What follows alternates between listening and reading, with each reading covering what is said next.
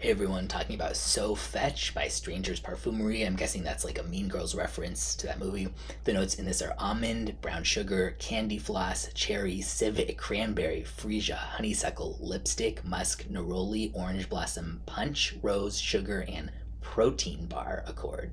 So this is actually really surprisingly well blended for such a like kitschy notes listed name. I mean, not surprising in the sense that it's done by Prin Lomros, one of the best perfumers of all time in my opinion, but still, it really does smell like a mix of those notes, but it also doesn't smell totally random or like utterly bizarre like you might think with that mix. It's very fun in small doses, I would say, but for my taste just too sweet overall. I don't like really like sweet syrupy type of fragrances. And this is indeed syrupy sweet. Then there's like almond cookie cherry cranberry fruit punch musk and neroli and orange blossom with like a slight animalic tilt.